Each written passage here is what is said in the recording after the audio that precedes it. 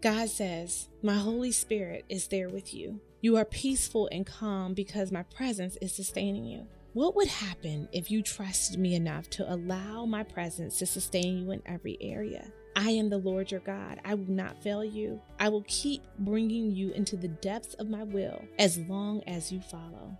That's how you know when it's from God. I have placed a mantle of peace on your life.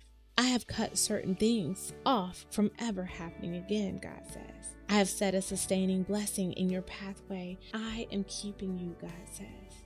Focus on filling the space with so much of one thing that there's no room for anything else. When you are so full of your purpose, your intention is supported and nothing else has the ability to distract you, God says. Whatever you fill that space with will determine what you focus on. This is what God says. That space, that gap, is going to determine what you focus on. God says, I am bringing it all up together. There will not be one thing left behind, but it will all come together. With a breath from me, with one touch, I am releasing a new ability to trust in me so that you can allow me to do what only I can.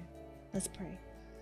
Heavenly Father, God, thank you so much for your will and your way going forth today, God, for being so beautiful that you have this handiwork that you fashioned for us, that you've set our lives up according to a purpose, that you are fulfilling us in every way.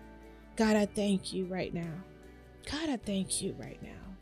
God, I thank you right now for separating us from the rest, God, for carving us out, setting us aside.